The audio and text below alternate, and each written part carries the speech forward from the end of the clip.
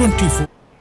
वज़ीर अजम पाकिस्तान मोहम्मद शहबाज शरीफ ने आईनी इख्तियार इस्तेमाल करते हुए लेफ्टिनेंट जनरल साहिर शमशाद मिर्ज़ा को chairman, joint chiefs of staff committee और लेफ्टिनेंट जनरल सैयद आसिम मुनीर को chief of the army staff मुकर करने का फैसला कर लिया। इस बाबत समरी सदर पाकिस्तान को इरसाल कर दी गई है। वज़ीर अजम पाकिस्तान मोहम्मद शहबाज शरीफ ने आइनी इख्तियार इस्तेमाल करते हुए लेफ्टिनेंट जनरल साहिर शमशाद मिर्ज़ा को chairman, joint chiefs of staff committee और लेफ्टिनेंट जनरल सैयद आसिम मुनीर को chief of the army staff मुकर करने का फैसला कर लिया है। मरियम औरंगज़ेब की जानब से ये ट्वीट किया गया है, जिसमें उन्होंने कहा कि लेफ्टिनेंट जनरल साहिर शमशाद मिर्ज़ा को chairman, joint chiefs of staff committee और लेफ्टिनेंट जनरल सैयद आसिम मुनीर को chief of the army staff मुकर करने का फैसला कर लिया गया। इस बाबत समरी सदर पाकिस्तान को इरसाल कर दी गई है। मरियम औरंगज़ेब की जानब से ये ट्वीट किया गया है, जिसमें उनकी जानब से कहा गया वज़ीर अजम पाकिस्तान मोहम्मद शहबाज शरीफ ने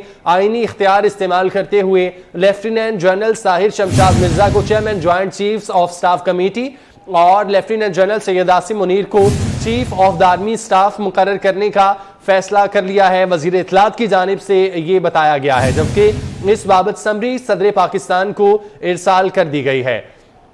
मरियम औरंगज़ेब की जानब से ट्वीट किया गया है, जिसमें उन्होंने कहा कि वज़ीर आज़म पाकिस्तान मोहम्मद शहबाज शरीफ ने आइनी इख्तियार इस्तेमाल करते हुए लेफ्टिनेंट जनरल साहिद शमशाद मिर्ज़ा को chairman joint chief of staff committee, जबकि लेफ्टिनेंट जनरल सैयद आसिम मुनीर को chief of the army staff मुकर करने का फैसला किया है, जबकि इस बाबत समरी सदर पाकिस्तान को इरसाल कर दी गई। अवैस कियानी हमारे साथ मौजूद हैं, मजीद तफसीत उनसे जानते हैं। अवैस, डिटेल्स बताइएगा, मरियम औरंगज़ेब की जानब से मजीद क्या बताया गया है? जी बिल्कुल अहम तरीन जो है वो फैसला हुआ है और जो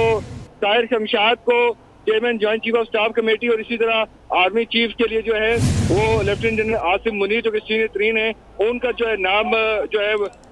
उनकी समरी भिजवा दी गई है वान सदर को और इस वक्त जो ख्वाजा आसिफ है वज़ीर दिफा वो इस वक्त जो है मीडिया को ब्रीफ करने लगे हैं।